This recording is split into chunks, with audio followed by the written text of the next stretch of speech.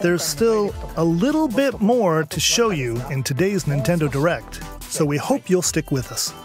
Next, please take a look at this.